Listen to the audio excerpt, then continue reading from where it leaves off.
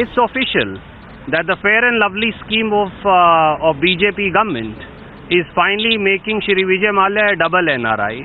He was already a non-repaying Indian, he's become a non-returning Indian also. And uh, no wonder that uh, people of this country are saying कि माल्या ललित मोदी की जोड़ी देश का पैसा ले दौड़ी but question is that Prime Minister Shri Narendra Modi must answer pertinent questions to the nation. Why does he not seek deportation? Why does Modi government not seek deportation of people like Vijay Mallya and Lalit Modi? Because extradition is a years long process and it will not happen like it never happened for Lalit Modi. And did he meet finance minister? What was the terms of those conversations? Will they share this with parliament? Mr. Mallya is conveniently sitting in London attacking all and sundry, including senior members of the press, including editor of Times Now, because his attitude is give me loan, leave me alone.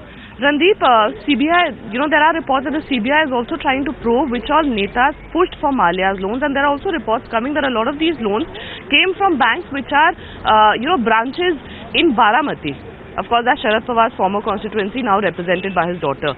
So there are reports that suggest that there was a closeness that the NCP enjoyed with him. Important issue is individuals and parties are unimportant. Even if a person belongs to Congress party, Bharatiya Janata party or any other political party, if anybody is found to be in wrong, take action.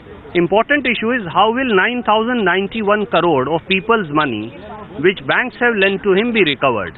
Because after all even the 551 crore agreement that he entered into for United Spirits with Diageo PLC he has reported to have taken away 40 million US dollars in an offshore account. But shouldn't this also be investigated on who helped him? Absolutely that's why I said it is unimportant as to who helped him because take action against whoever helped him whichever party they may belong to.